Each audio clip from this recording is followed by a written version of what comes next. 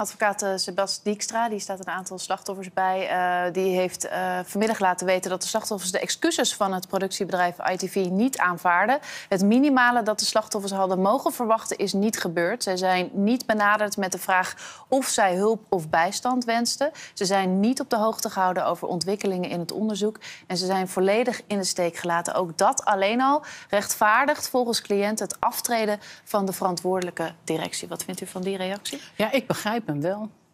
en dus vindt u ook dat de directie dan uh, zijn verantwoordelijkheid nou, zou moeten het, nemen? Het, in ieder geval had er een groter gebaar dan schrijven...